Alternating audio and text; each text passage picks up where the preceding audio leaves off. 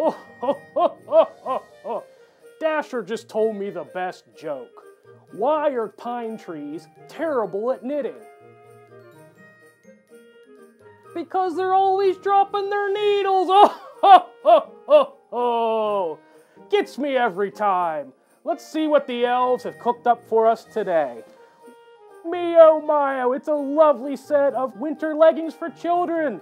These fleece lined leggings will keep your little ones warm all year. Fun prints including reindeer, snowflakes, and checkered patterns make every outfit a winner. No matter how you choose to celebrate this holiday season, HDE has you covered. Click the Amazon link above and come back tomorrow for more gift giving suggestions from the big red guy himself.